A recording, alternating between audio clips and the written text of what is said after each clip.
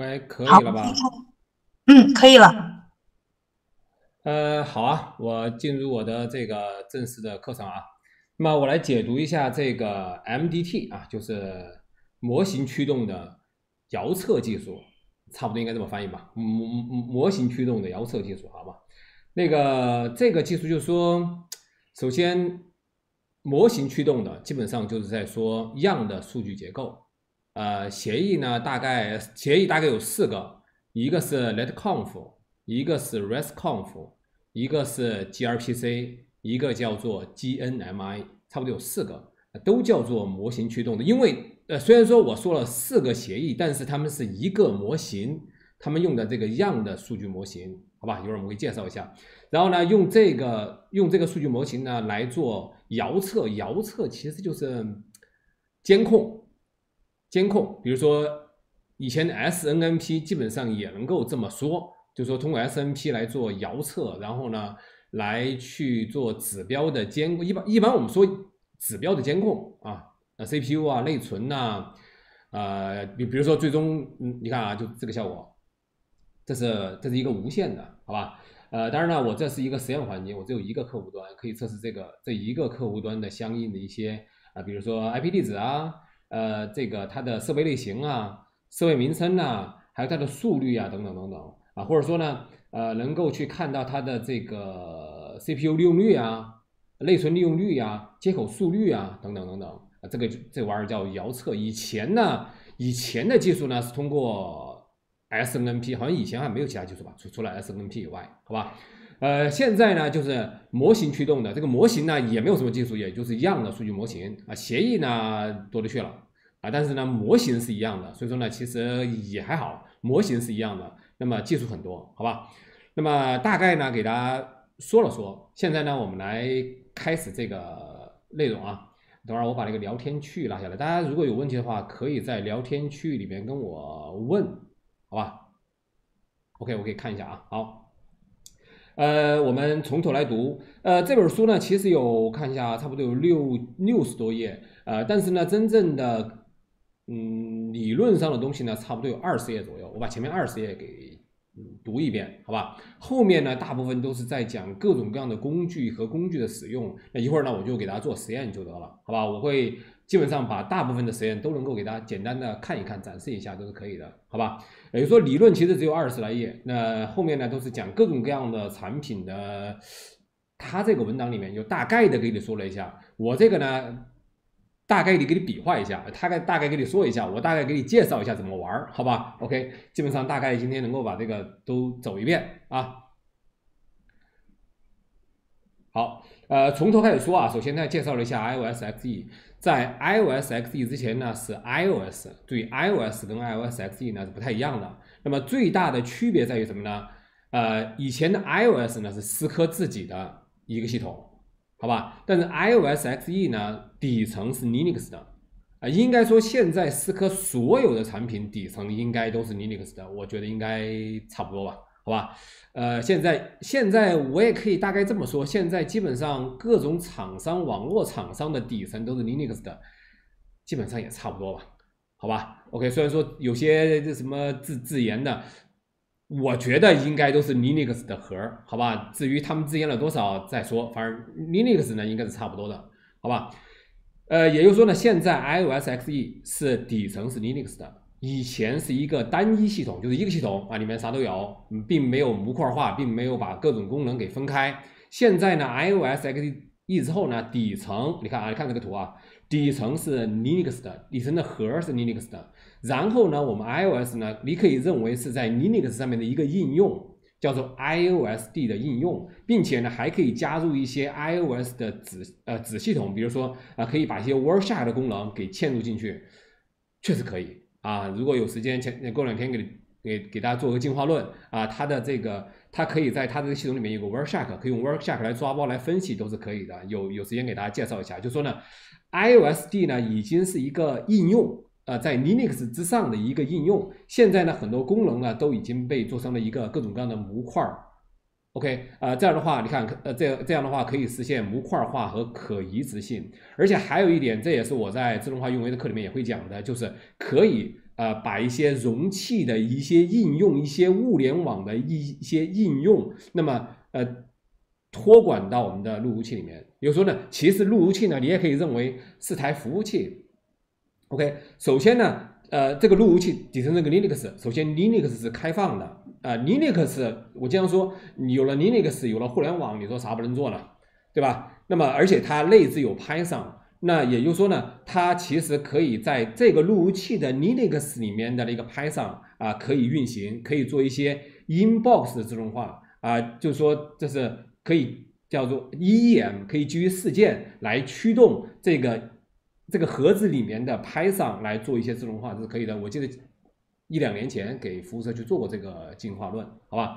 那么呃，当然呢，你也可以开发属于你自己的一些物联网的一些小的 APP，那么呃，把它封装到容器里面，嗯，然后呢，用路由器的 Linux 呃给它拉起来也是可以的，好吧？比如说呢，它完全可以当一个服务器用，拉一些容器化的一些应用起来是没问题的。好吧，iOSD 呢其实也算是一个应用，然后呢，它底层的这些呃底层的 Linux，底层的 Python 也是开放的。那么思科这个 iOSXE 其实，当然 iOSXE 不只是路由器，也不只是交换机，不只是控制器啊，这什么现在很多主流产品啊，企业级的产品呢，应该都是 iOSXE 的，好吧？好，呃，然后呢，所有的 API，包括一会儿我讲的那些什么 LetConf、RESTConf 那些东西啊，那么可能呢版本低了，可能是支持不了的，但这个只是跟版本有关系。那么，但是呢，跟授权是没有关系的，只要你是思科的产品，那么所有的 API 都是可以支持的。好吧，那么我吐槽一下某些厂商，那么 API 都要收费的，我不知道怎么想的，好吧？而且我认为，只要 API 是收费的，它的 API 就是假的。我为什么这么说呢？因为现在很多这些设备它是原生 API 的啊，就是我你要配东西就必须往 API 来配啊。命令行只是一个图形化界面，只是一个那种展示用的，好吧？那么呃，如果说这个这个厂商呃这个这个说那要给钱才开 API 的话，那 API 它也是假的。好吧，那种原生 API 的，它想不开也不行，它它就必须得开，好吧？像像经常 AWS 那个那云服务就是原生 API 的，你要说它可以命令行不给你开，它可以图形化界面不给你开，的 API 不开就别玩了，好吧？API 是天生的原生的 API，好吧？所以呢，思科这个 API 什么都可以用啊，就是跟这跟授权没有关系，只要是台思科的设备。那么只要你有基础最基础的授权，那什么什么 API 都可以用啊，包含今天讲的我的什么 LetConf、RESTConf 那些全是可以用的，好吧？好，呃，然后呢，这个 Telemetry 啊，就是遥测这个东西啊，呃，被定义为一种自动化的通讯过程，通过该过程在远程位置收集测量值和其他数据，就是它。遥测，它来收集，它来采集，呃，各种各样的数据，然后呢，然后呢，把这些数据呢传送到这些呃接收设备上面来进行监控。注意啊，嗯，它能够收集的东西可多了。呃，以前我们认为，我你想一个问题啊，以前我们要配，我们用 SSH 去配；以前我们要看事件，我们用 syslog 来看事件。以前我们要了解一些指标和那些 CPU 内存那些东西，我们用 SNMP 来监控，好吧？我我记得我在自动化运维的课里面讲一些经典自动化啊，就是经典自动化那个课程的时候，我就会讲，你看啊，我们应该用 SSH 来配网络设备，我们应该用 SNMP 呢来采集各种各样的指标，我们应该用 syslog 呢来收集日志来分析日志，以前就这么讲的。但是啊，现在我们可以用这一个技术。啊，就是 MDT 啊，那么不仅能够去收集配，就是 get 配置啊，也可以去写配置，就是读配置也没问题，写配置也没问题，好吧？然后呢，你还能够读取这个设备的各种状态，就是各种各样的 show 接口的状态呀，CPU 的状态呀，没问题。其实呢，还能够甚至能够把日志也能够采集过来，是一站式的全套解决方案，好吧？而且我给你解解释一下啊，前两天我跟一个呃阿里专门做自动化运维的一个领导啊，这这次算领导了啊，聊了两个多小时。他们现在啊，阿啊就他们现在他们玩自动化，基本上就用一套协议，就是那个一会儿我们要讲的 G 开头的协议啊，gRPC、gmi，那基本上就用这个 G 开头协议，什么 syslog 不存在的，什么 SSH 配置也不存在的，OK，什么 SNMP 也不存在的，基本上就用一套协议打天下，就什么东东西都用这个一套协议，都用这个 MDT 这个套路来解决，好吧？所以说呢，相当的重要。啊，就是这一套东西相当重要，不是说，虽然说今天我们在讲遥测，我们今天啊主要是讲监控，主要是来各种指标啊，出这种啊各种各样的图，好吧？啊，但是呢，我也会给你解释一下，其实呢配置也都全部是没问题的，好吧？OK，呃，好，然后呢，这是它的就介绍了一下，就是为什么我们为什么它比较重要啊？因为不断扩展的网络需要持续的。实时的可见性啊，就是实时的。以前的 SNP 不算实时的，因为 SNP 呢是那种啊，它周期性的去去发去去去轮询、去拉取啊、去拉取相应的指标 CPU 和内存。OK，虽然说 SMP 也可以推，但是那个都是一些呃接口档啊，呃。邻居档啊，就这种这种事件性的东西可以推，但这种指标性的，你只有去不断的去拉取它，好吧？但是呢，这个是呃这个 MDT 啊，一会儿我们主要主要就说 gRPC 啊，就是这些东西基基本上都是 gRPC 打过来的。那么它是呃不断的以流的形式不断的推过来的，OK，所以说呢，基本上是实时的，OK，呃，随着网络的扩展，需要大量的数据来分析，OK，嗯。这么说吧，呃，我也跟那个阿里的哥们儿聊了聊，他们说呢，呃，他们平时呃一般不不不经常开 gRPC，如果要开 gRPC 的话，很有可能就是说他们现在的一些一些一些核心链路的那些网卡，一些网卡，一些接重要服务器的网卡，那个呃，他把 gRPC 打起来之后，能把他的这个这个接口下面的几个队列的所全部的信息。大量的信息，这个队列、这个接口队列状态，各种各样的详细信息会打过来。他说这个量会非常非常大，好吧？他们只有按需的时候才会把那个接口的 gRPC 打开，会把那个接口下面的详细的跟队列的跟详细信息全部打过来。OK，呃，用 gRPC 可以收集非常非常细致的信息，好吧？呃，好，现在呢，其实我第一次了解 gRPC 这一套产品是当两年多前我在讲思科的。DNA 的时候，当然现在叫做 Cisco 的 Catalyst Center 的时候，那么我第一次了解有这么个概念。因为以前呢，因为思科这个 DNA 当年会会打开一些什么保障功能啊，然后一旦激活呢，我当时就想看一下这玩意儿打开了些什么鬼。然后呢，我到路由器上去看，然后呢就发现它加了一堆我其实看不太懂的这么 telemetry 的这么一些东西，好吧？那后来我慢慢研究，然后呢发现这是 gRPC 的一些东西。OK，那个时候才慢慢了解到这个东西，因为因为我发现思科为什么不用？因为以前我们的理解就是说应该用 SNMP 啊，获取指标啊，后来发现怎么没有 SNMP？因为我当时我想看 SNMP 没有，然后我发现他换了一种方式，然后呢我才能够知道啊，有这么一个 MDT 这种技术，有 gRPC 这些技术，他们是更加呃流行的、更加新的一种嗯这个遥测的这么一个技术和协议，好吧？MTTR，模型驱动的遥测啊。它这种 push 就是说流式的 string，流式的就是在一个 TCP 里面一种流的形式，然后不断的去把它的数据不断的去 push，然后呢到你的接收端，你的接收端呢几乎是实时的能够去访问到这些数据。OK，呃，应用程序可以通过基于标准的样的数据模型，就说呢，虽然说一会儿我这这个协议那个协议播入播出都会讲，但是呢，他们的数据结构，他们的数据模型都用的样的数据模型。好吧，呃，然后呢，它是一个开，呃它是一个这个工业工业的标准，OK，都用的这个模型。当然了，对，样是一个数据模型，这呃，你看样叫数据建模语言，对，样最准确的叫数据建模语言。它为，比如说为接口建模，那接口建模应该应该怎么建模呢？比如说接口应该有个名字啊。接口应该有一个描述啊，接口应该有一个 IP 地址啊，接口应该有一个状态呀，接口应该有 MTU 啊，就是它应该给你建模，就跟你要描述一个人，你也需要对人进行建模。那怎么描述一个人呢？可能应该姓名呐、年龄呐、呃身高啊、呃肤色呀等等等等，对吧？你要建一个模，建一个模型，然后呢，有了这个模型之后呢，你就能够更好的去描述这个人。那么样呢，也是数据数据用来数据建模的。那么比如说，你应该如何去描述一个接口啊？那接口应该有呃接口类型、接口号啊这个。它接口编号、描述、IP 地址、MTU 等等等等，它是来建模的。注意，它是来建模的。然后呢，有了这个样的这个建模的模型，然后呢，你就可以用它来产生具体的数据。具体的数据呢，可能就会表现成为 XML 啊或者 JSON 的东西。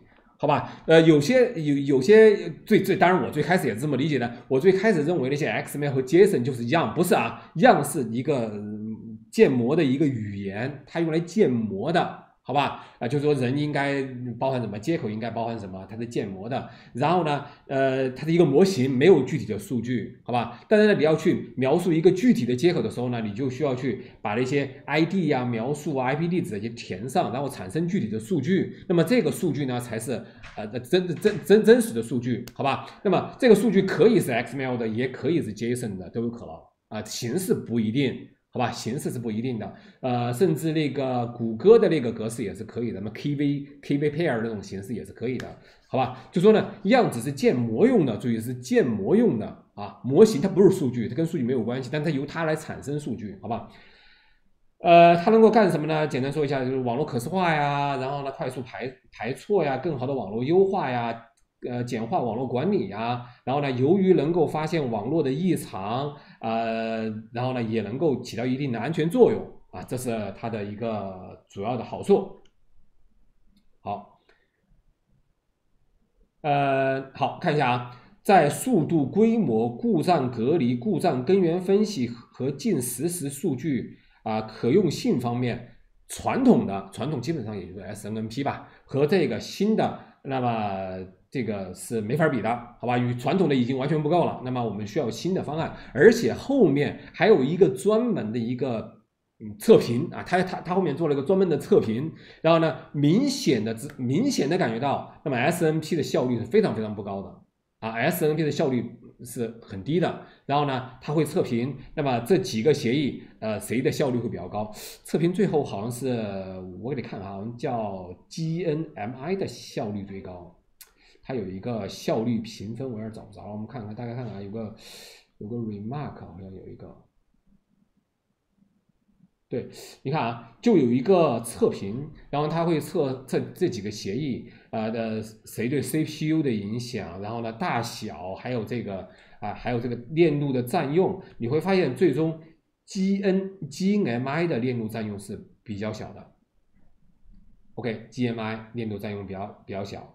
这是相应 CPU 的影响，CPU 的影响，OK，还有这个带宽的影响等等等等一个测评。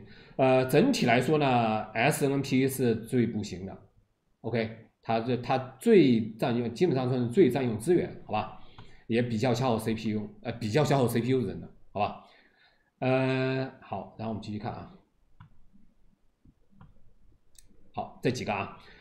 呃，我们来看一下，首先呢，有 LetConf 啊，LetConf 是我上课我自动化运维里面课一个比较重要的，它既可以播入，也可以播出，但一般来说都是播入啊。一般来说，我们用 LetConf 来做配置，一般来说我们用 LetConf 来做配置，就是说我要配你什么东西，呃，我要配什么东西。当然呢，也可以说我要去我要去拉一个什么东西过来啊，拉你的 CPU 啊也行。好吧，但一般来说呢，LetConf 呢是播入，它也可以播出啊。LetConf 呢可以做一个订阅啊，我我我我给你我我先配你，然后呢我做一个订阅，然后呢你按照我的订阅，然后呢根据我现在的 TCP，然后把你的资源，然后不断的以流式流的形式给我打过来，也是可以的。我测过，好吧，用那个央税都测过，确实也是可以的，但是很少见啊，很少见啊，LetConf 啊。呃，RESTconf 其实是我非常推荐的，就是特特别是在我的自动化运维的课里面，啊，它是播入配置，它是配东西的，啊，它可以实现一个覆盖的效果，啊，就是说不管你以前长长什么样，反正现在呢要这样，我一次覆盖我就直接一步到位。呃，RESTconf 其实我做配置的时候还是非常非常推荐的，很多情况下都会用 RESTconf 来做，好吧？LetConf 说实在的，我其实用的不多，因为它的 XML 那种形式我有点儿。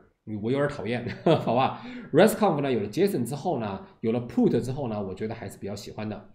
嗯，我们先说 gRPC，gRPC 呢，我以前讲的也比较多，它是播出的啊，就说呢，你需要在路由器上呢敲配置，一会儿我们都都会演示啊，都会演示啊。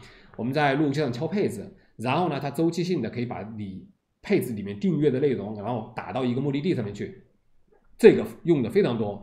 那么现在呢，比如说像阿里的一些互联网厂商，他们用的指标监控，基本上都用 gRPC 啊，基本上用这个不不是这个啊，我不要说这个啊，基本上都是 gRPC 啊，这种 dial out 这种方案，好吧？这个 G 啊就是谷歌啊，这些 G 开头全是谷歌的，谷歌弄出来的，好吧？gRPC 呢是他们私有的，GNMI 呢是一个后来改良版的公有协议，好吧？你可以这么理解，好吧？呃，GNMI 呢可以播入，也可以播出。首先，GNMI 是比较比较完整的，它既可以配东西啊，它可以配，它它跟 NetConf、RESTconf 是一类似，它可以配，它可以配置，好吧？而且不夸张的说，他们现在就是用 GNMI 的配的，不，呃，那个我了解他们，他们不用 NetConf，也不用 Resconf 他们指标用 gRPC 往外推，他们配用 GNMI 往里边改。就这个套路，好吧？GNMI 往里边改，它可以去播入，它可以去改东西啊，它也可以配东西，没问题。指标监控呢，用 GNMI 呢往外推，好吧？呃，当然，它它也可以 GNMI 啊，不仅可以配置，它也可以监控啊，也可以就是指标监控，而且它的指标监控呢。也可以播入，它也可以播出，对不对？可麻烦了啊！既可以配，也可以指标监控，啊，还可以播入，还可以播出，都可以，啊，都没问题。它可以，它可以播出，啊，它可以直接播出，啊，就是说，反正你配好东西，它直接播出去就行。它也可以播入，就是说，也是中心拨过来，告诉你说啊，嗯，你把什么什么东西，然后呢，根据我现在这个 TCP，就用现在我的 TCP，以流的形式。呃，用我告诉你那些东西，你给我打过来，它也可以播入再播出，它也可以播出啊，它也可以播入配置啊，反反正是啥都行，就是 GNMI 呃啥都行，好吧？OK，呃，然后呢，对呃，你看这个目的呢，就是说呃，采集各种各样的网很多很多的网络设备的信息，然后呢，在一个中心的位置进行存储，存储，好吧？呃，好，基本上是那种，就是基本上是那种流式的，就是那种播出的。一般来说是播出的流式的啊啊这种 push 的方案，播出流式的 push 的方案，好吧？他们都用的一样的数据模型，你可以是周期性的去推，也可以是发生变化的时候去推，周期性的推，发生变化的去推。而且还有一点很神奇啊，就是说。我们说这个播出啊，播出，我们认为播出一般来说就是啊 CPU 啊内存啊这些东西，其实不是，不止，什么都可以播出。比如说你想监控一个配置有没有被人改，也可以用它来做 push，就是说你能够去监控这个配置在改变的时候，它会把这个改变 push 出去，也是可以的啊。你就这么神奇，好吧？呃，就说呃。它是播出的，但是你不播出了，你不要认为啊，就就一定是这种呃指标，不一定，你甚至可以监控一些呃配置，都可以用它来做监控啊，有问题它它会播出来告诉你这个配置被改变了，好吧？OK，呃，注意啊，指标监控现在基本上我们都推荐用嗯这个播出这种方式。其实，其实啊，因为前两天我跟那个哥们儿聊，我说其实 GNMI 这种动态播入其实挺好的。我我给解释一下，动态播入什么效果啊？呃，我给你画个图，大概。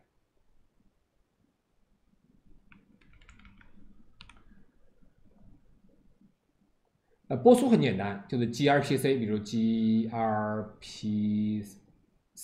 就是就是你在这儿配啊，我要什么要什么要什么啊，然后呢播出就可以了，好吧？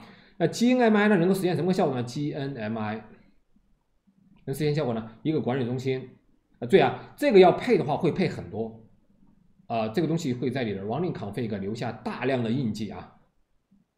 看一下这个，今天可能我们这是我的我的新的一个无限课啊，你看可能会配很多很多东西，要刷这一片东西才能够啊、才能够出这种监控的效果。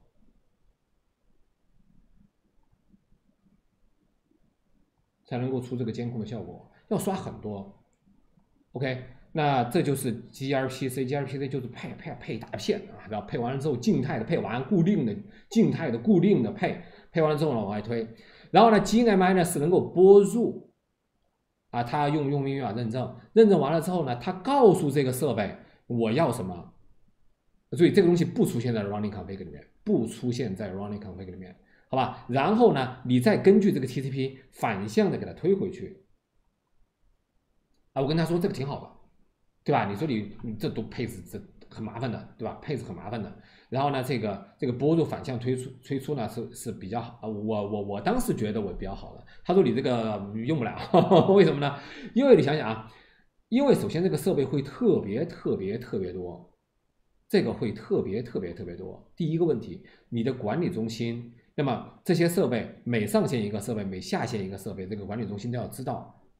因为他知道了才能上来，首先这事儿这就比较麻烦，好吧？而且呢，你要放行他去往所有这些设备的流量，防火墙也就不一定让你过得了。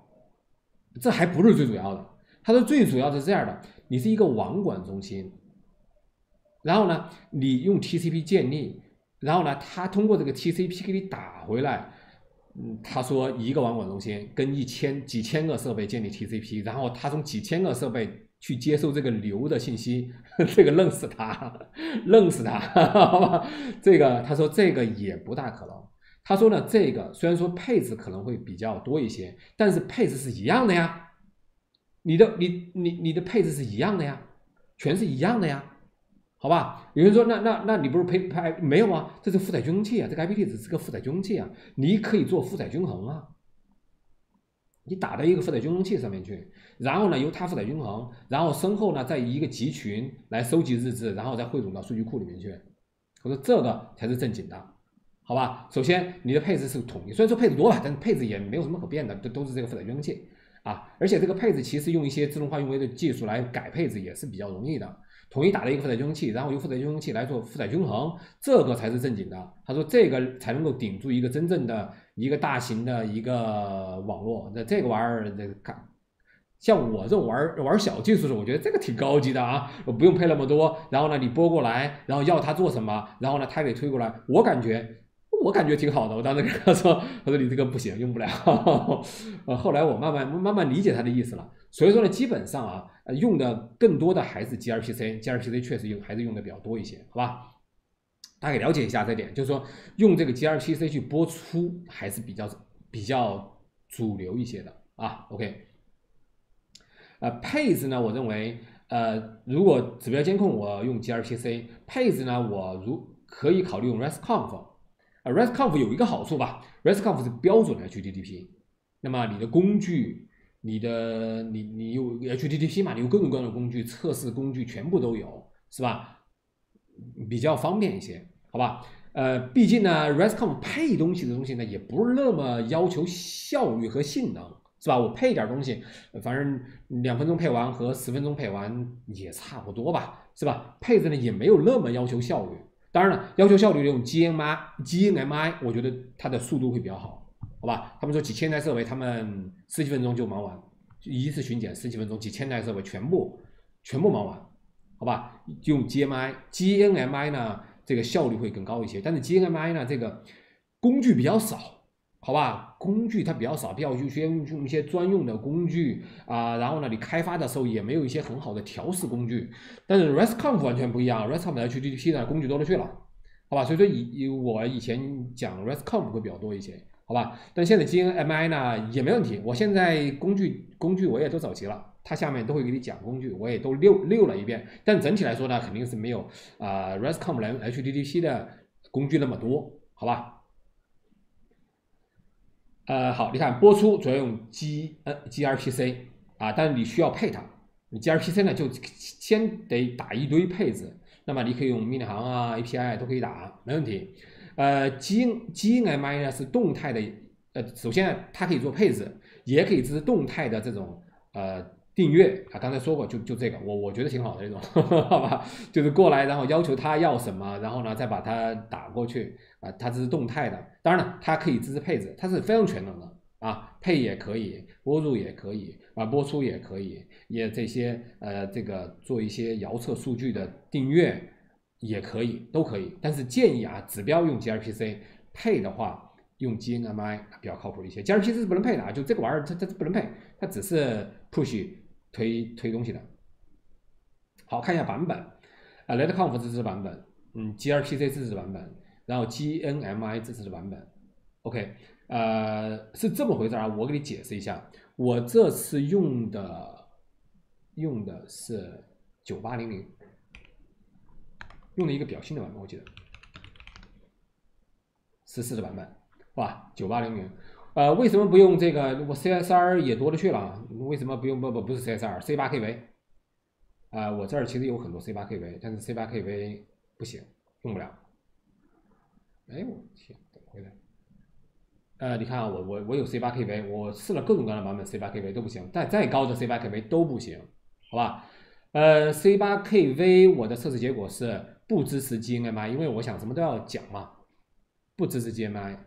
OK，呃，但是呢，C C 九八零零就是思科的一个控制器。当然了，这是我本地的 C 九八零零。然后呢，这是我的实验台的 C 九八零零。啊，我过两天呢，呃，十一呃六月底六月底啊啊，我要讲我新的思科无线的课程啊。现在呢，正在给他做一些实验啊，正好我也说，正好我也给他做实验，正好呢，我也给他做一个配套的监控监控系统。OK。啊，大家可以关注一下我六月底的一个九八零零这个九八零零新的控制器的无线的课程，好吧？啊，这是生产的啊，不能讲是实验环境的，实验环境里面有真的 AP，然后有真的客户，然后呢，我们可以真正的监控这些这些数据都是可以的，好吧？好，所以说呢，要做这个实验，注意你如果用虚拟化的话，你只能用 C 九八零零。OK，你用 C 八千 V 的话，LetConf、ResConf、gRPC 都没问题，就是 GNMI 没有，真的支持不了，好吧？跟那个版本你升的多少高版本都不好使，你用 C 九八零零那个就可以了。但是 C 九八零零是个控制器，你监控一些无线的东西呢，肯定是没问题的。你要配动态东西，哎，就好像就不行，因为一般来说我讲一些自动化，我说 OSPF 吧，长期来那就配个 OSPF 意思一下就得了，是吧？真不行，好吧，只能配一些跟无线相关的东西。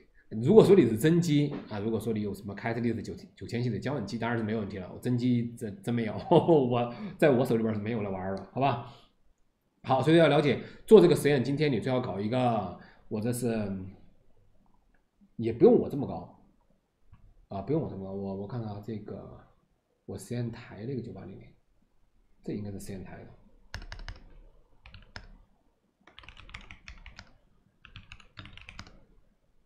这个是十七点九啊，反正稍微高一点就可以了，它才能够全全部支持啊，在这边啊，啊，这个我花了就就花了半天我研究各种各样的，呃，然后最终发现 C 九八零零的那个版本会比较靠谱一些啊。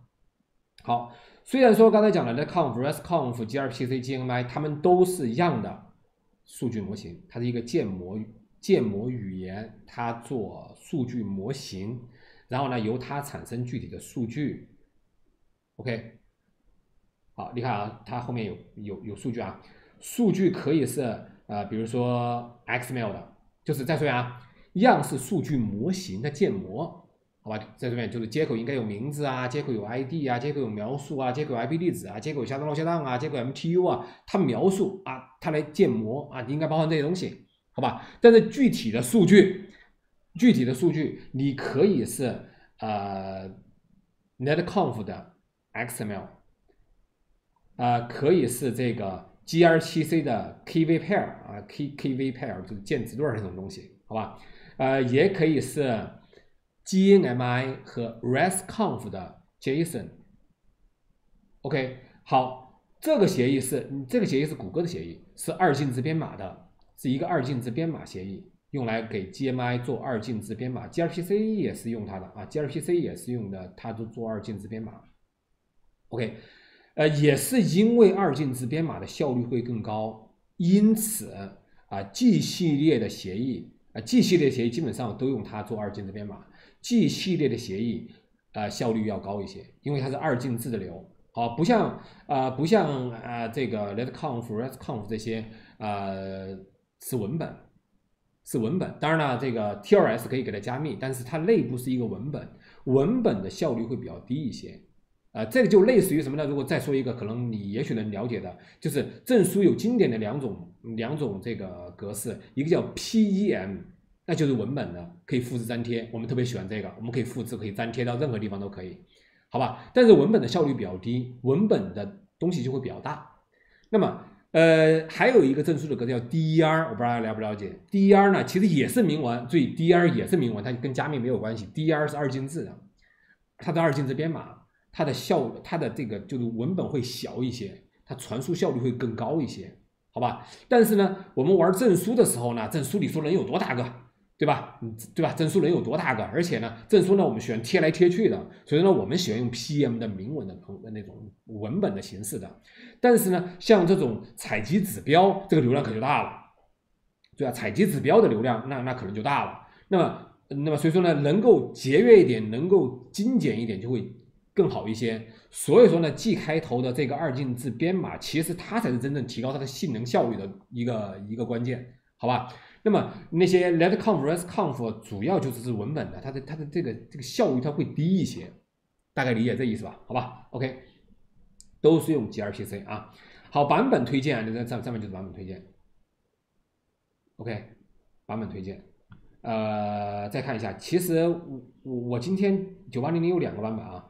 这这其实就可以了，这这是我这个实验台里面的，就是刚才有真真的 A P 关联过来那个十七点九啊，然后呢，我本机的是十七点十四，反正十七点大一点就可以了，好吧？版本啊，呃，好，然后呢，这个他们的认证啊，认证，那么呃，G G 系列的 G 系列的可以用证书，甚至可以用 M T L S 双向证书认证，可以，一会儿我们有证书。啊，有证书认证，啊，我但是我不选双向证书啊，就是，呃，我玻璃，你给我提供证书，我用证书验证你，然后呢，你要求我用用，呃，你要求我提供用户名密码，我把用户名密码提供给你，你认证我，这个比较好一些。你要让每一个客户都给他提供自己的证书，好像也不太方便，好吧？所以一味儿认证呢，就是说，呃，访问那个设备的时候呢，设备有证书，然后呢，我给他提供用户名密码。大概就这样啊，嗯，netconf、RestConf，呃，GNMI 支持播入啊，然后呢，GRCC 是播出，GNMI 也支持播出，也可以，它也可以支持播出。注意，这个实验是没有做出来的啊，其他都做出来了，我就一个实验，我我没做出来，我给大家讲。如果说各位未来谁做出来了，你联系我，没做出来啊，我给你解释一下啊，就是 GNMI 还能支持这么一个东西。啊，这是接收器，它也能够啊，它也能够直接播出，它也能够直接播出。它播出了之后呢，你在这儿配订阅，然后呢，你把这个订阅的信息通过这个 TCP，注意啊，通过这个 TCP 反向把这个订阅推给这个 G M I，然后 G M I 收到这个订阅之后呢，然后呢，再把这些订阅的内容给推出来，一个 TCP 由 G M I 到这个接收者。就是这个没做出来，真没做出来。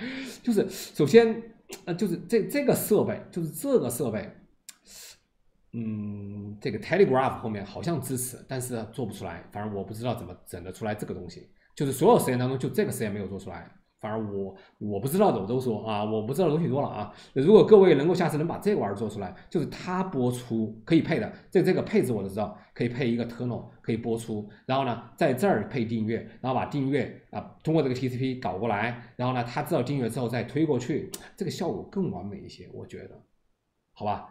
呃，你们你这反正这这确实有，我也看到了。你有，但是真没整出来。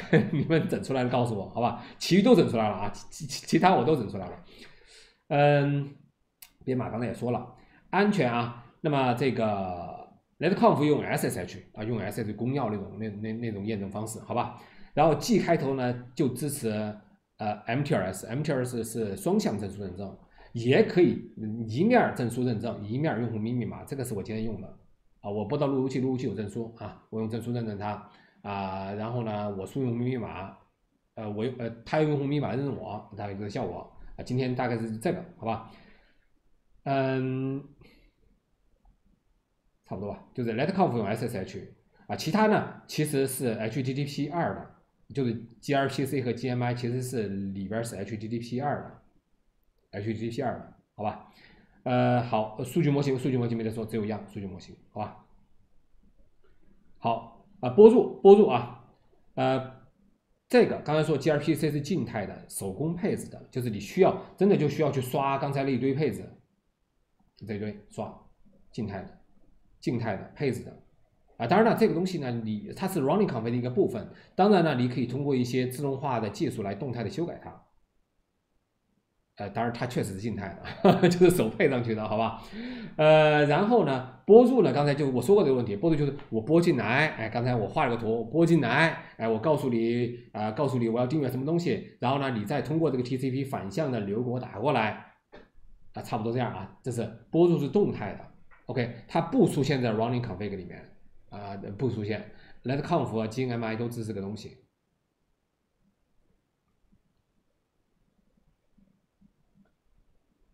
呃，好，这个这个说一个问题啊，就是说，呃，如果说这种播入的问题，就是接呃，就订阅者和这个接收者，因为你来，然后呢，我打给你，是吧？啊，都是一个设备，所以说呢，它如果流量大的话，就不具备扩展性，这也是一个问题。OK，呃，播出啊，这个基本上就呃，这这这个播出就是离离 switch 网网络设备往外建立连接，播入呢就是接收者往 switch 建立连接，好吧？呃，在这边啊，我们推荐指标监控用 gRPC 做播出啊，我现在推荐呃做配置。是播入，播入呢，RESTconf 也可以，GNMI 也可以啊，都可以，好吧？好，这他就紧紧接着讲这几个协议了，好吧？那现在这样啊，后面基本上我看啊，再继续看啊，再继续说说啊，它这几个节 LetConf、RESTconf，哎，老的 SNMP、GNMI 啊怎么激活，它这有介绍，gRPC、gRPC 的配置它也有介绍，好吧？好，然后再看啊，数据有两个数据，一个是配置数据，一个是操作数据。配置数据很简单，就是 running config 的东西，好吧？呃，操作数据呢，主要就是它是只读的，它不可以配。那么主要是秀的东西，各种各样的指标的东西，好吧？呃，好，这是两种数据类型。呃，在两种情况下啊，可以去 push。一种呢是周期性的，就是每十秒我发一个东西给你啊。还有一个呢，就是啊，当修改的时候。呃，都什么东西改变的时候，我推给你都可以。注意，当修改的时候，你可以做成配置。当修改的时候推给你也是可以的啊，也没问题。它不区分那个事儿啊。呃，当当修改和周期性的都可以啊，都没问题。好啊，这就来数据模型啊。数据模型我们是一样的数据模型，这没毛病啊，它是一个标准，这没问题。但是呢，呃。主要有两种大类型的样的数据模型，一个是思科他们家 native 的，有一个样的模型叫 Cisco iOS XE native 啊，就是原生的啊，他们家自己的这个呢，它的功能会比较全面一些，就是思科各种特性它都能够支持，好吧？特殊的各种功能支持的非常非常好。但是呢，这是思科他们家自己的，还有一个呢，就是开放的数据模型。开放数据模型呢，就分为两种。一个是一个是正经的标准的 IETF 的啊，思科支持的这两个啊，支持的不算太多，我觉得好吧。标准的呃，这个标准东西啊，其实就是大家支持都不好，好吧。好，还有一个呢，就是 Open Config 联盟，这个我前段时间做过进化论，就是以几个主流的网络厂商啊，创建了一个联盟。啊，叫 Open Config 联盟，然后呢，他们就做了 Open Config 相应的兼容的样模型。那么在这些联盟里面的这些厂商，那么基本上都能支持 Open Config 这个模型，好吧？这个呢算是有较大的通用性。一会儿我用的比较多的，好像也是 Open Config 像他们家的，好吧？有较大的兼容性，但是思科特别特殊的功能它可能也支持不了，好吧？呃，IETF 呢就是支持就很有限了，好吧？啊，一会儿主要是用的 OpenConfig，实在不行呢用这个 Native，呃，IETF 的用的不是很多，好吧？OK，大概了解有有一个是原生的，一个是开放的，开放的又分为 IETF 的和 OpenConfig 的。那我用的 OpenConfig 的会比较多一些，如果不支持的话，我会用 Native 会比较多多一些，IETF 用的不不太多，不经常用它。好，然后呢，呃，支持的样的模型很简单啊，你这儿可以查这个文档，这个文档呢就能够给你看到所有的思科的各种版本啊，各种版本支持的全部的样的模型，好吧？你说你看吧？我也不看，好吧？而且也不用到这儿查啊，一会儿我们直接可以查某个设备的，好吧？这这这个可以看看，但没有什么太多用啊。啊，然后呢，基本上就是这这就是样的模型，然后展开之后一个树状结构的东西，跟 MIB 有点像啊。后面后面我们也会看看这样的数据模型。好，最重要的呢，这个文档里边还说了几个东西，就是说你经常会用得到的一些呃样的这个 XPath。注意啊，比如说你要采集某个东西，比如说你要采集某一个东西，那么这是不是有个路径？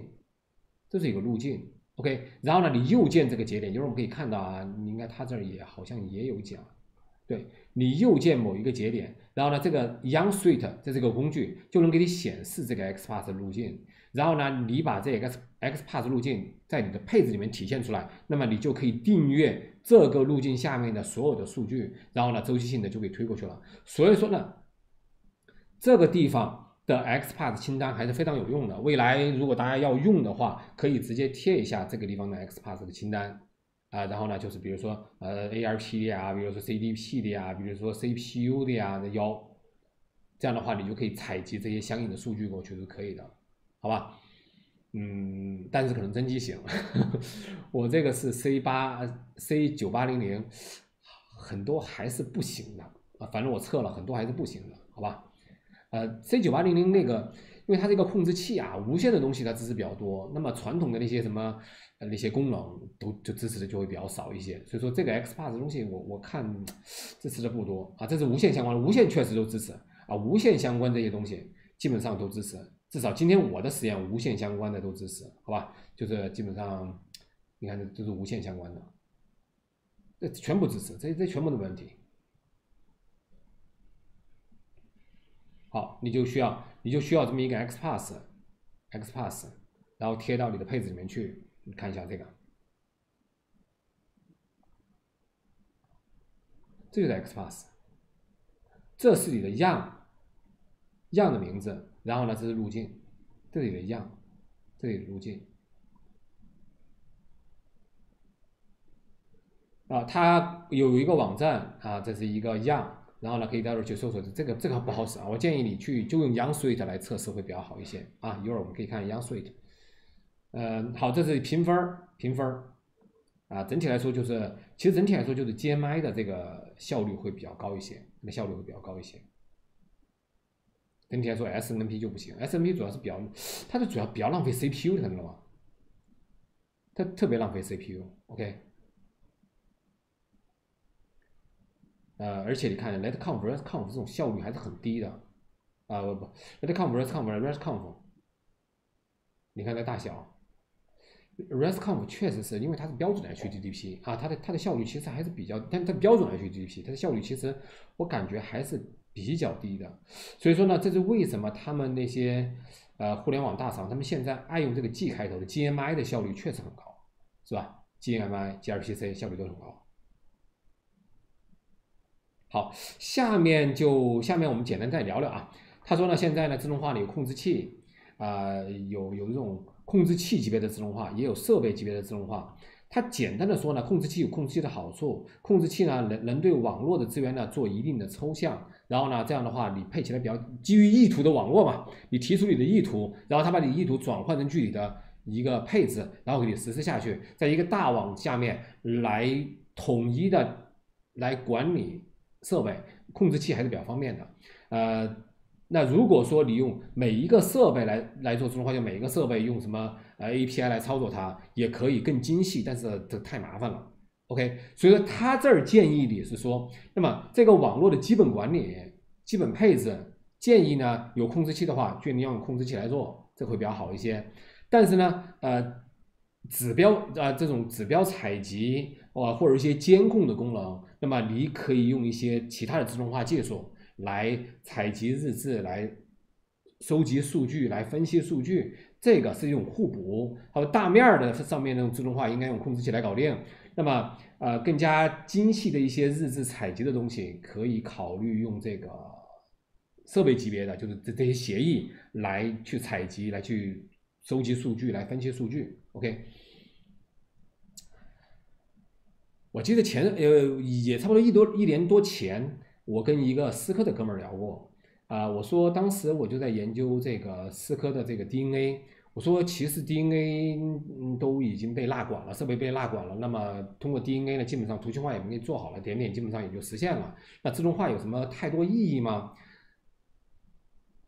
呃，我通过它也通过一本书大概学到了，就说，那首先自动化有两个用处。首先呢，你便于把 D N 呃这个 DNA 这个这个控制器和其他的网管系统，因为其实就你们公司可能还有其他的管理系统做整合的时候，API 自动化是有用的。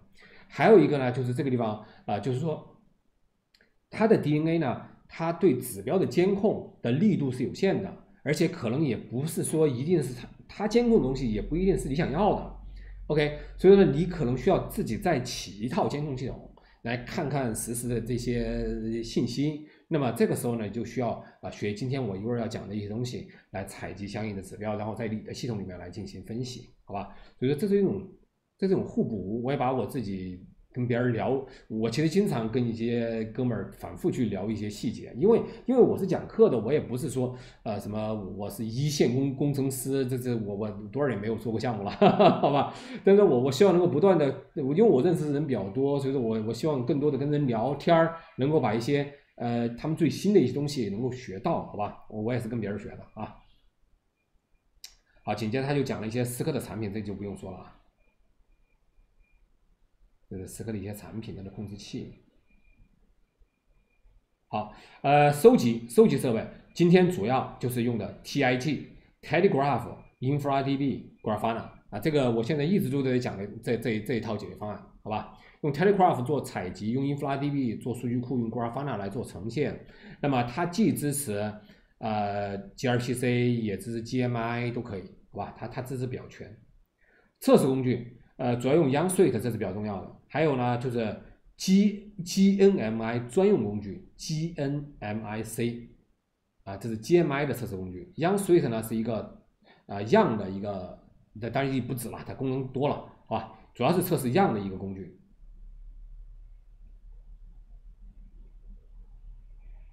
Young Suite 啊，Young Suite，好，我给大家看看 Young Suite。这样，我我先给大家配一个。啊，我这样，我我我先看完啊，还有没有什么可以讲的？好像差不多了吧。是 GNMI 返回的 JSON 数据啊，它基本上央税的。既然到央税的，我就开始配啊。嗯，给来个配置啊。好，首先啊我这个九八零零刚才恢复过快照，恢复了一个空快照啊。这个空快照呢，除了基本上就是有 IP 地址。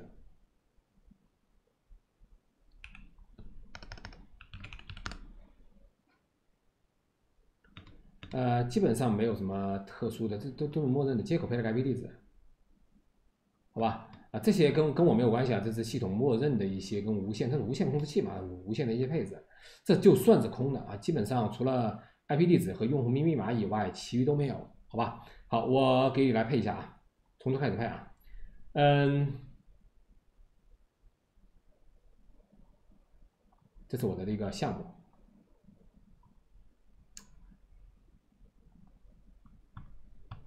看一下啊，呃，我刷一下这个配置，呃，简单解释一下，主机名 DNS 域名时区啊，这个这个不重要啊，这个这个这个不重要，NTP IP 地 IP 地址其实已经初始化过了，好吧？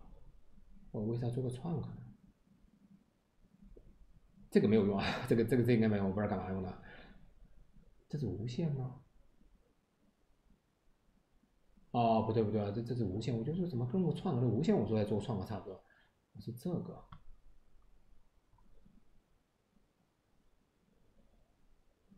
这个啊，这个这个这个，就怎么这么复杂？嗯，主机名时区一定要改啊，时区一定要改。呃，其实可以做个 domain，没有做啊。呃，然后呢，这是创建一个 transport，一会儿我要导证书，叫做 QITGMI，一会儿我要导证书，先创建它，一会儿好导，好吧？呃，这个用户名密码是有的，这个 IP 地址其实是有的，这个 HTTP 是有的。呃，这个也是现在也是有的，就是现在这些都是有的，这都有的。OK，主机名、时区、trust point，好，GNXI，这就是 G GNXI 激活两个协议，一个叫 GNMI，一个叫 GNOI，呃。G N O I 怎么今天没有聊？G N O I 呃，前两天我做过一次进化论，G N O I 也是一个很神奇的东西。呃，今天我开始一直没有说啊，G N O I 能够实现用它来做一些，你要知道啊，G N M I 是做配置的啊，敲配置可以理解吧？啊，G R P C 呢是采集指标的，采集 C P U 和内存，可以理解吧？但还有一件事情，还有一件事情，怎么呢？升级镜像，升级镜像是配东西吗？它不是。升级镜像是采集指标吗？啊，也不是。甚至还有一个就是更新证书，这是这叫做日常的一些维护操作。注意啊，在这边啊，GNMI 配东西可以理解吧？gRPC 采集日志可以理解吧？但是还有一些事儿需要完成。那么 G 系列的协议里面又多了一个叫 GNOI 啊。一会儿可以看一下，前两天做过一期进化论，它能帮你去升级镜像，帮你更新证书，甚至能够把你设备重置到默认，都可以用 GNOI 来做，好吧？所以呢，这个 GNXI 就激活了两个协议，一个叫 GNM GNMI 和 GNOI 两个，好吧？呃，然后呢，激呃激活它，激活它的服务器，呃，激活 HTTP 它的。HTTPS 的服务器，呃，然后呢，它是它的证书，这样的话，我连接它的时候，我可以通过证书来验证它。然后呢，它要我用户名密码，就是我我连接它的时候，我输用户密码给他，我也一起把呃 RESTconf 给 NetConf 都激活了，呃 NetConf RESTconf，呃 GNMI GNOI 都激活了。OK，gRPC 呢？gRPC 一会儿要配，gRPC 刷这个。gRPC 好吧，呃，那好，解释的差不多，那就开始刷一下啊，刷刷一下。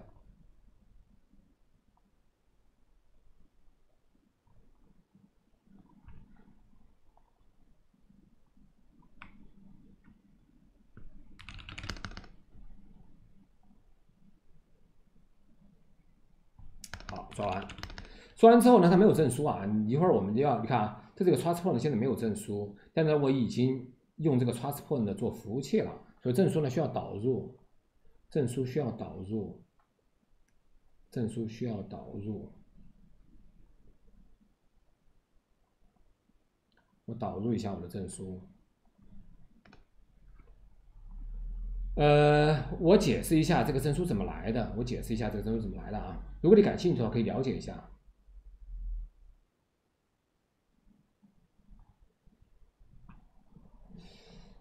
切来切去，有点切找不着了。这个啊，呃，你可以去下载一下我的在 GitHub 上面的一个项目，叫 Qit 下划线 Nginx 这个项目。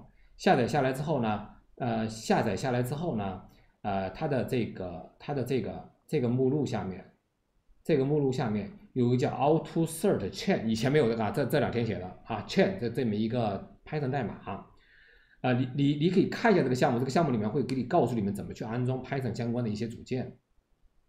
好，你执行这个 Python 代码，然后呢，你可以写你的域名，当然这是 IP 地址啊，你就可以产生相应的这个这个域名或者 IP 地址的证书。这个证书会以一种 P 十二的，当然了，你也可以要明文的证书和明文的密钥。我们这儿是 P 十二的证书，注意这个 P 十二证书里面包含什么啊？P 十二证书里面包含。根证书，它的一个链，它包含根证书，还有这个你的个人证书，还有私钥，然后加了密的，这是 P 四二的，好吧？这个 chain 是包含了更证书的啊。当然，这个目录下面还有一个不带 chain 的，就没有更证书，它的 P 四二里面是没有更证书的。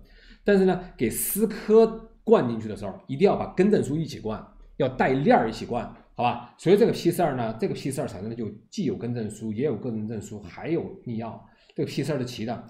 然后呢，你再把这个 P 四二呢做一个 base 六十四编码，就出了这个乱七八糟这一片。OK，那现在我贴的就是这个，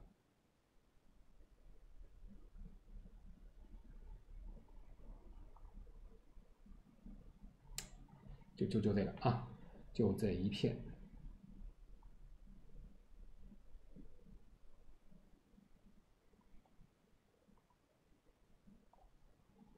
你看啊。P 十二终端贴入密码是 CS 零一二三的解码，就刚才那个东西贴，证书就有了。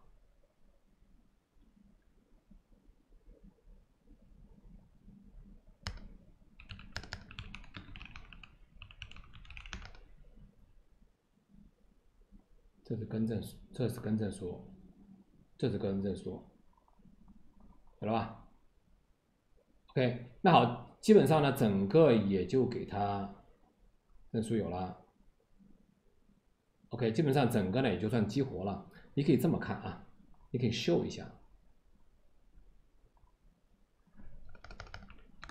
，show GNXI 状态 detail，GNMI，GNMI 都激活了的，当然还没有还没有操作啊，GNMI 好，GNOI 看啊，这下面是不支持。但这个证书管理支持的，所以前段时间我做了一些进化论，用 GNOI 呢来做证书管理是有的，好吧？呃，GNMI，过一会儿，过一会儿应该就好了，好吧？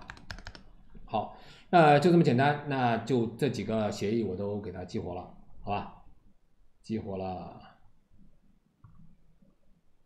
这是 RESTconf、LetConf、GNMI 和 GNOI 啊。这个 gRPC gRPC 就这个，我给你贴了吧。LetConf 刚才激活了的，它可以把这个路径下面的数据，接口下面的数据，就是那些接口的入方向直接数、出方向直接数这些信息，然后呢推过去。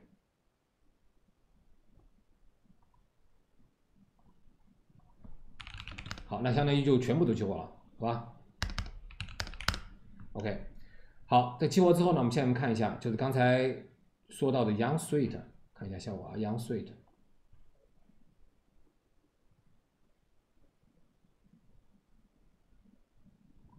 这 Young Suite，好吧，而且我提前已经给做了这个设备。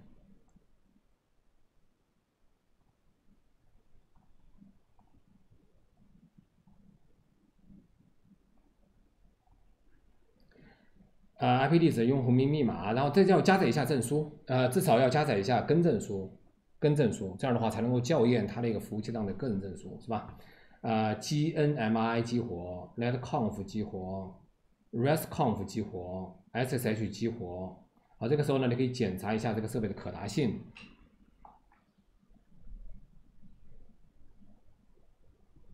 哎，GNMI 咋了？还没起来？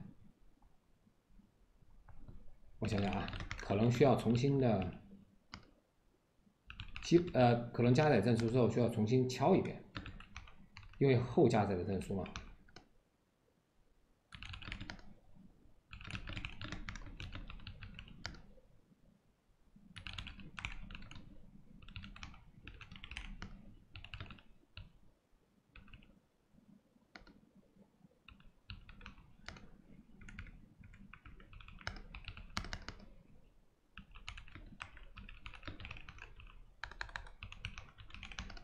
再看看啊，哦，我我我加载错了，我不是这个，我我我两个项目啊贴贴的贴错了，不是这个 trans transport 贴错了，我 transport 贴错了，我刚才贴成这个 transport 了，这是我那个那个无线项目里面的。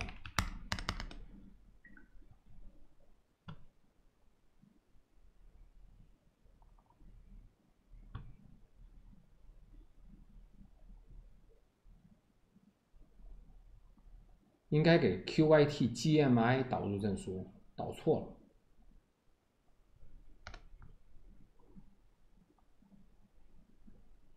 导错 transport 了。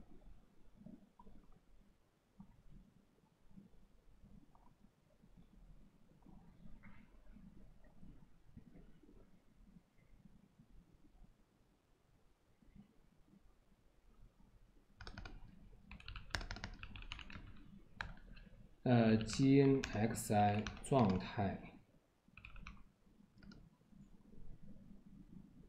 还是当的。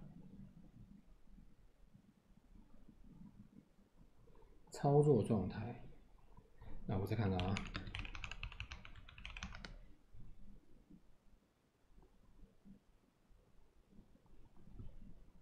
对的，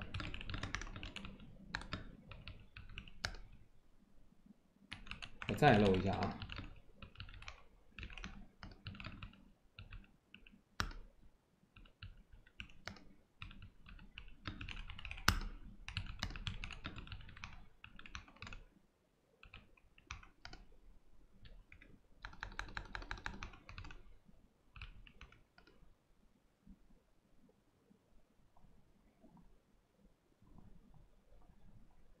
操作状态还是大了，我测一下，我测一下，测一下啊，看看测不测得过。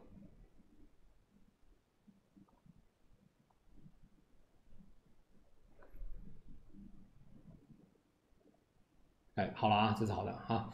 好，它的好处在于什么呢？呃，比如说协议，所有协议都支持。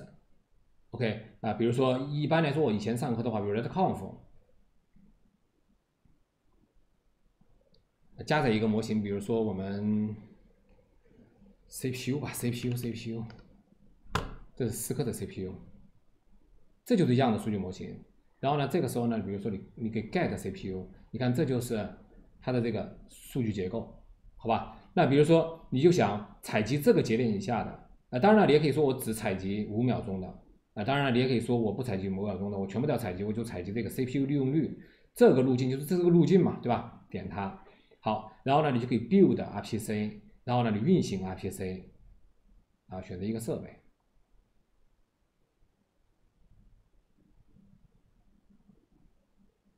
运行 RPC，它就是帮你能够帮你能够去做一个测试，发起请求，嗯，哎，应该。至少 CPU 也应该返回一个。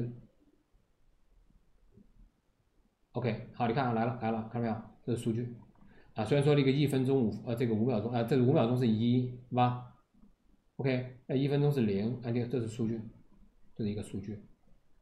OK，央税的好处呢，就是说有各种各样的模型可以加载模型，然后呢，你可以用 get 来采集指标，呃，这是。get config 就是获取配置和编辑配置，get 就是采集数据了，好吧？OK，然后你能够了解数据结构，你能够去知道 XPath，XPath，OK，而且呢，你可以构建 RPC，执行 RPC，看到数据，这个 Young Suite 这个还是比较重要的，好吧？可以做各种各样的测试，而且它现在支持的协议呢也是比较全面的，OK，嗯。这是央税的啊，你看，G N G N M I 也支持，都是一样的数据模型，数据模型都是一样的，是协议不一样而已。OK，好，再继续看，刚才我们采集过啊，啊，这应该是他在用 G N M I 了，G N M I，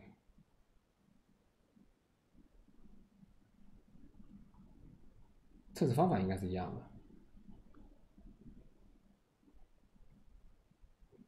啊，这 gRPC 的配置。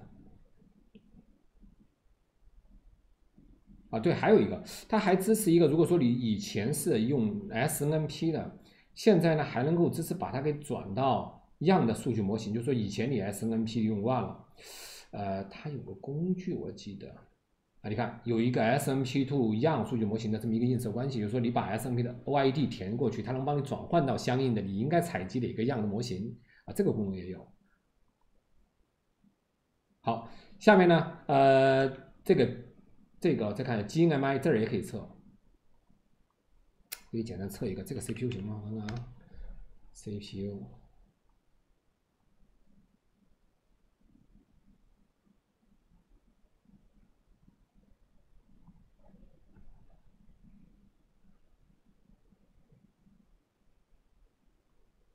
啊，或者是这样，因为一会儿我主要是用它来，我看看啊，应该主要是用它来采集一个，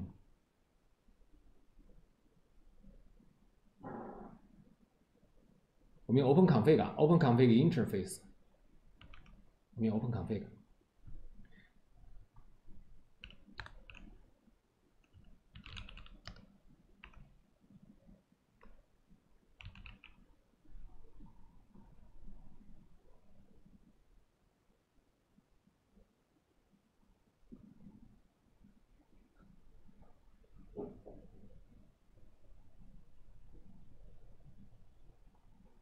啊，这是接口，呃，我就采集这个大位置，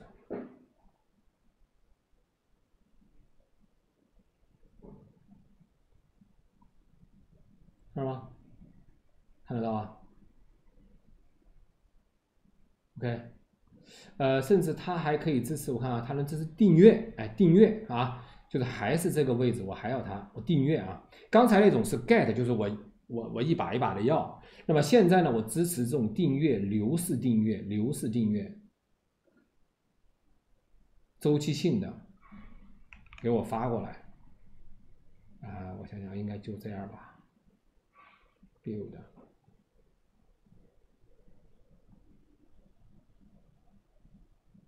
流式订阅啊，你看这有了吧？它应该还会再翻。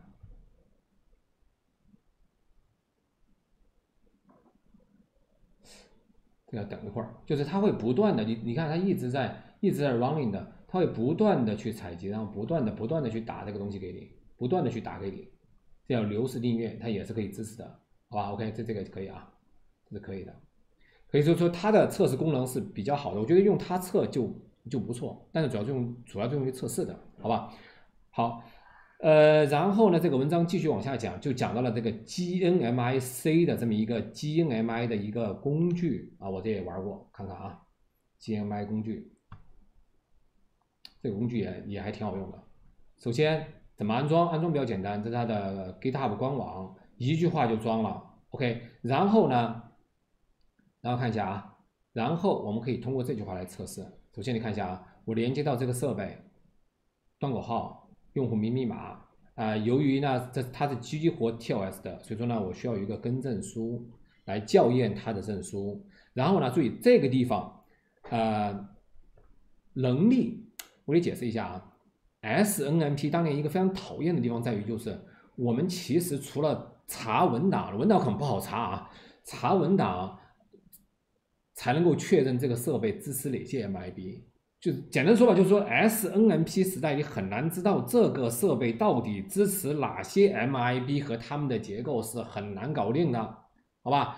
但是现在呢，这个呃，不管是 GNM、GNMI 还是那个 Conf 都支持一个功能，你可以去要求我给你返回我支持什么样的，支持哪些样模型。哎，这个比较高级，这个这个确实是一个高级的东西。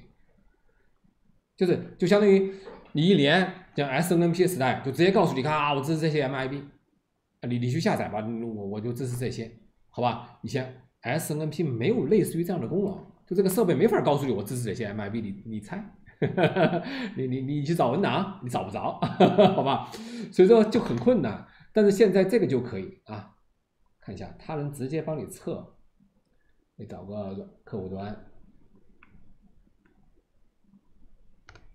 哎，你看，直接就能返回，它支持所有的样的模型，支持所有的样的模型。这也是为什么当初有些人玩玩这个样 suite 的时候，你再把设备做好了之后，你就可以直接点一个叫做创建它的这个它的样的存储库和样的集，一个创建，哎，它就自动帮你去下载了所有的它支持的。是为什么？以前我也搞不懂。好吧，呃，现在我知道啊，就是说你一点它，它就去先做这个操作，就知道所有的样支持的，然后呢，它再在线的帮你把所有东西给下载过来，产生这个设备的样级，就这么来的。OK，你就能够在这儿啊，就能够看得到你相关的样级。所以说呢，呃，刚才呢在测试的时候，在测试的时候，你才能够为这个设备为这个设备选择它所支持的样机，就这么来的。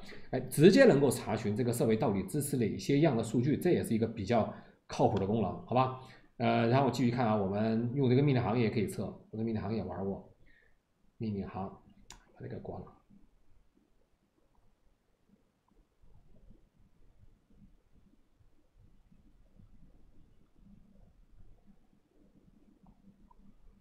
好，呃，我们也可以用这个命令行去看一下，我们那用那个命令行啊，这这个还是 capability。哦啊，这是加载证书啊，就是如果说那边那要提供呃要双向证书认证，那通过这种方法你可以提供你的个人证书和密钥，这也是可以的。OK，呃，好，这是一个，然后紧接着呢，可以通过它，可以通过它来去获取。获取 get get 这个接口的数据，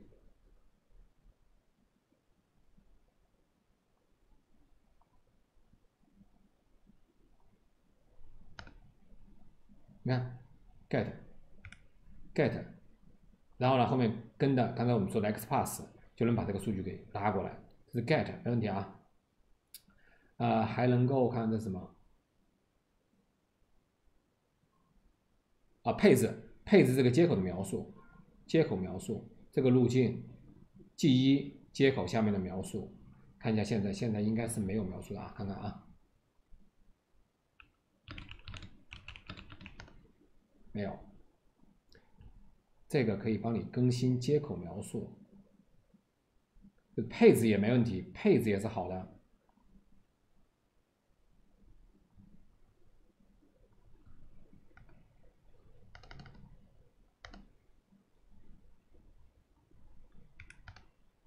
配东西，好的是吧？呃，再来删掉接口描述，可以配也可以删，删掉，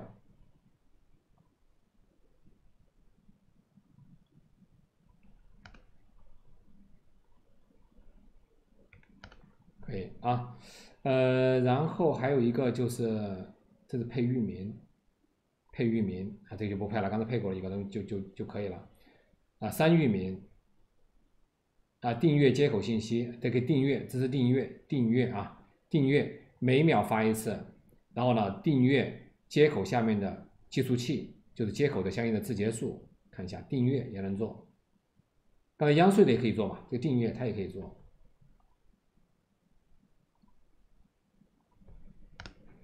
订阅啊，你看每一秒它刷一遍，哎，大哥咋了？刷。你看，每一秒它会刷一次，每一秒它会刷一次，这叫订阅，好吧？这个命令行工具我看了一下都支持啊，不管是啊 get、set、delete、订阅都可以啊。然后呢，用它来去查一些什么 capability 也是可以的，好吧？这工具也不错。然后呢，我又去测了一下 Python 脚本，Python 脚本，你去下载这个 PyGMI 也可以啊，看一下。呃，可以 get，这是也是路径，跟证书，IP 地址端口号，用户名密码，get 接口状态，get，get，OK，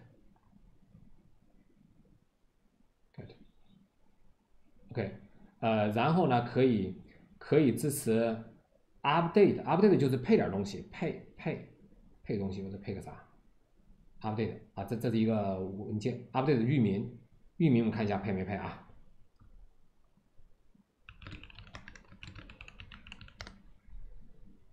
没有啊，我们来 update 一个，update 就是刷一个配置，其实就这么简单，没问题。呃，它一个比较高级的就是啊，它跟那个我经常说 RESTconf 我写那 put，它也有。看一下啊，它有一个叫 replace 的，叫替换、覆盖，并且替换啊，这个效果比较好。看一下啊，这是一个访问控制列表，呃，叫 test，IPv4 的访控制列表，十号 ID 一到二，呃，然后呢二号 ID 它到它，好吧？看一下现在没有访控列表，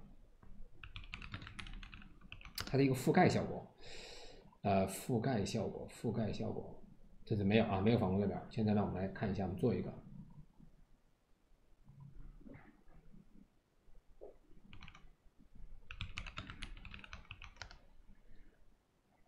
OK，好，这样啊，我们我们现在我把它弄一个，它不是刷配置，它是覆盖，效果还比较好的。比如我来一个五六十，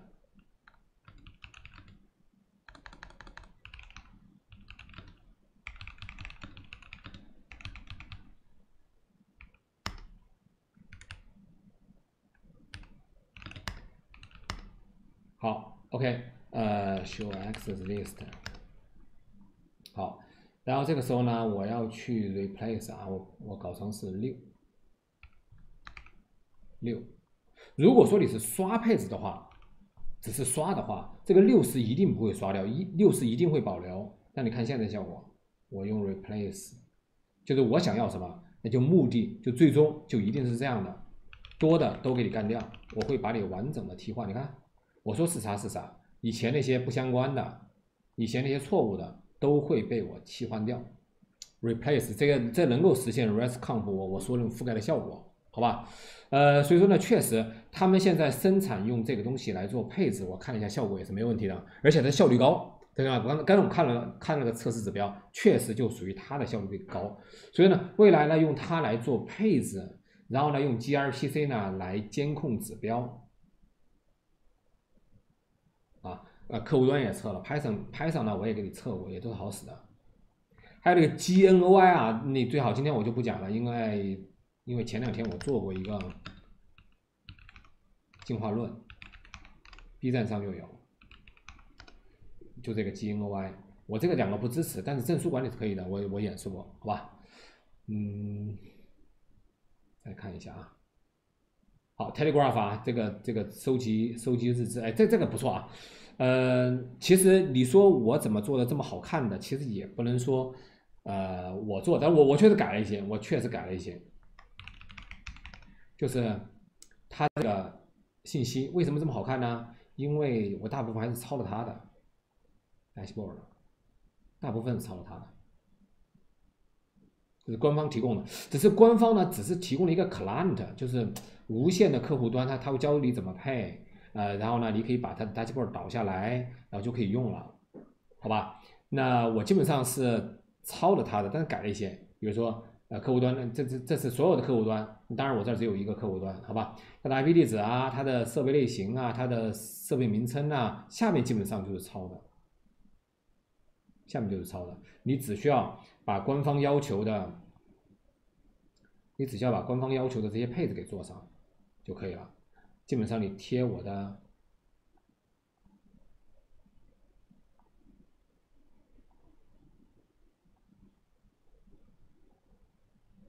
基本上贴 gRPC 的配置，啊不，还还还在我本地那个那一片，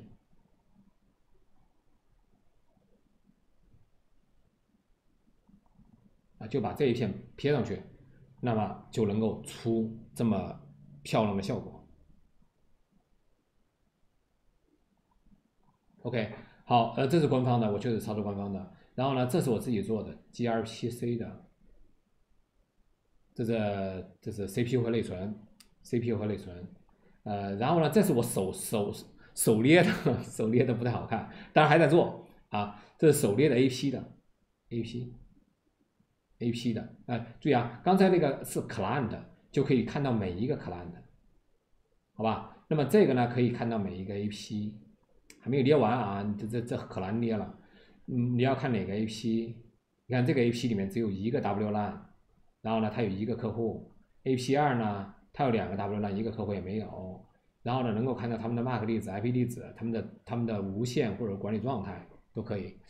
我还在捏，大家有什么想法可以给我讲。我我我最近还在捏这个玩意儿，这个这个可不好捏了。别看那么一点儿，忙了好几个小时，好吧？你这可不好捏了，捏出它这种效果，真正还是挺难的。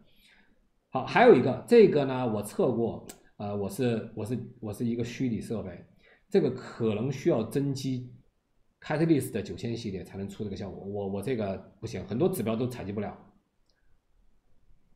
啊，这个它也没有放大啊，它它差不多能出这么一个效果，但是我发现我这是一个，不管是 C 八 KV 还是 C 九千九八零零都不行，好吧？这个也许搞个真机是可以的，我也没有真机测不了。如果有谁有真机可以支援支援我一个，好吧？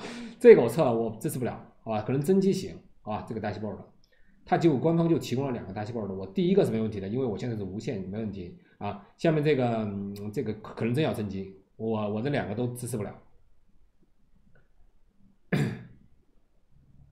基本上好。然后他也讲了这个 Splunk，Splunk 可能今年我会做一些 VIP 的正课，我会讲 Splunk 或者 SolarWind 等等等等啊，这都一个。我现在讲的是开源的，也会今年可能会讲一个收费的那些监控工具。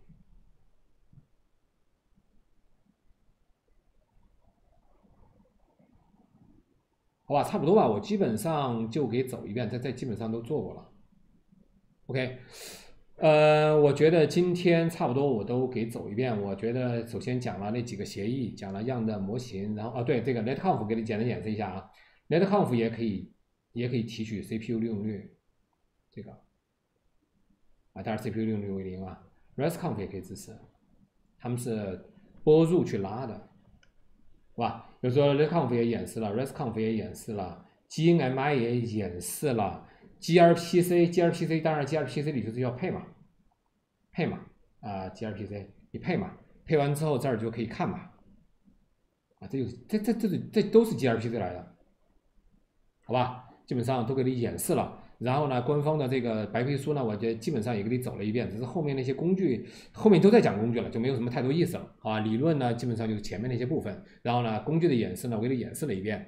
那么希望大家能够去关注一下这些新的这些 API 的技术啊，不，不仅是配置啊，还有这个呃 MDT 啊模型驱动的这种遥感技术，就监控技术。啊，我觉得监控技术是用的比较多的，好吧？因为现在在四个的四个 DNA 里面用到它，然后呢，一些互联网大厂现在也是用这个 MDD 来做监控的，没有用 SMP 啊，SMP 已经早就是老黄历了，好吧？这是一个非常主流的技术，而且这段时间呢，我我又认真去关注了这个 GNMI，因为以前我不太会用它的，好吧？我发现 GNMI 是非常全面的，它什么都可以干，不仅日呃不仅可以做指标监控。日志我那还没有做，对，哪天我做个日志的，他还把日志拿出来，然后呢还能配东西，它非常非常全面，好吧？基本上呢，在他们一些大厂里面，基本上用 gRPC 来做推送 push 的指标监控，那那边呢有有负载中心，他们这边打到负载中心器上面，然后去收集，好吧？用 GMI 呢，用用它的网管中心，用 GMI 来做配置、做巡检等等等等，基本上就主要用两个协议。就这两个协议，好吧？还有一个 GNOI，我说维护维护系统那些东西啊，维护什么镜像啊，维护证书啊，还有一个基本上用 G 开头的，既既是谷歌，好吧？G 开头的这这些协议，好吧？基本上今天我就讲的差不多了，看还有什么问题可以问，我们可以再聊一聊，好吧？